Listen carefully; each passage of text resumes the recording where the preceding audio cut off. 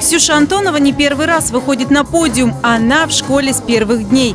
Но модельное направление не главное для восходящей звездочки. Ксюша серьезно занимается сольным творчеством. Недавно вышел первый клип певицы, а сейчас завершена работа над второй песней. Это песня о том, что не надо никогда сдаваться, надо всегда идти только вперед и не унывать, что бы ни случилось. На показе состоялась премьера нового хита исполнительницы. Кстати, все песни для Ксюши написал ее папа Вадим. Это их совместный творческий проект.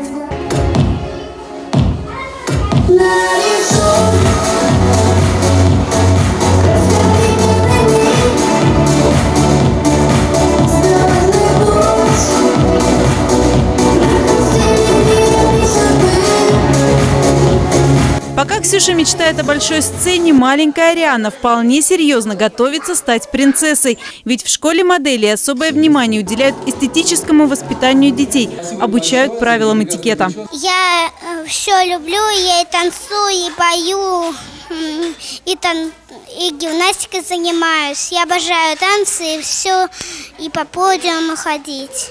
Ариана, как настоящая леди, терпеливо ждет, когда макияж и прическа будут готовы и идет переодеваться для выхода на подиум.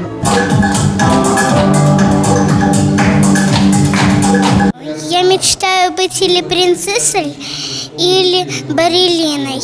Выступление все-таки это всегда для меня большая радость, что в школе, что просто в любом месте. Люблю выступать.